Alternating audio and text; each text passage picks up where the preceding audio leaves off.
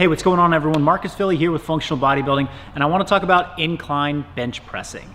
Why do we use incline bench pressing? Well, for me, one of the reasons that I like to bring in incline bench pressing is that anytime I'm looking at a specific movement pattern or a specific joint, I like to think about how can we train this particular movement pattern or joint through a variety of different angles pressing horizontally and pressing vertically, they challenge very different muscle groups. They require a different amount of stability and control at the shoulder, at the shoulder blade, and then every angle in between there will actually demand a slightly different amount of stability and use your muscles in a different way. So as is a big theme with functional bodybuilding, we're looking at ways to train for the long haul. If you're always training the same movement patterns over and over again, you will plateau, you might see overuse injuries, and you might just get bored. So having variation in your training can mean the simple change of the angle that you're pressing. So that's one of the reasons why we use the incline bench.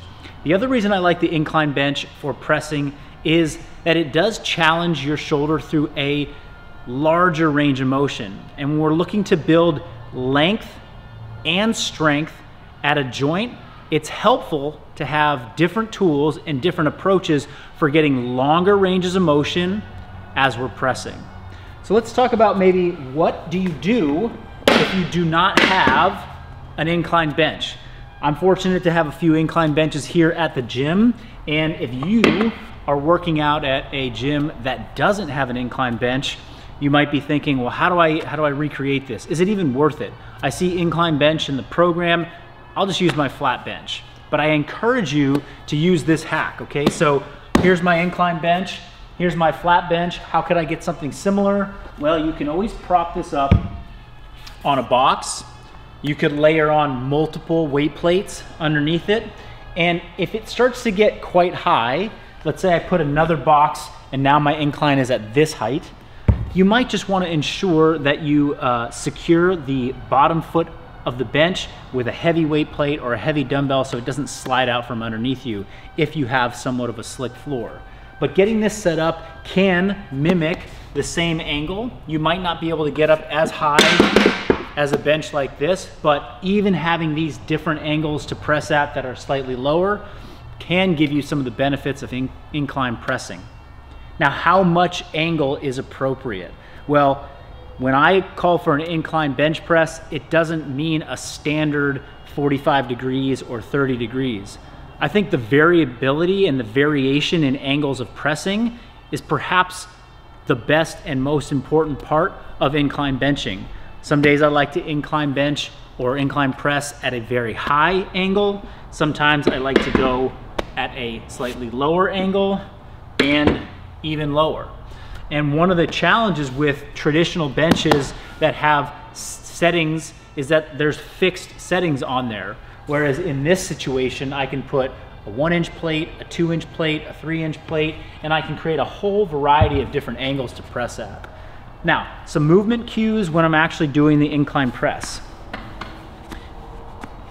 Something to think about is this angle between my torso and my upper arm, that is different every angle that I press at. If I go more vertical with my angle, that angle becomes a lot bigger on this angle of incline pressing.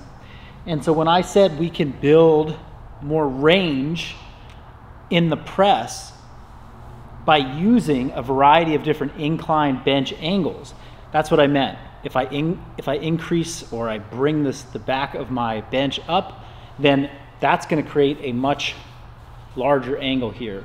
So much so that I could eventually get up to a full vertical press and then everything in between.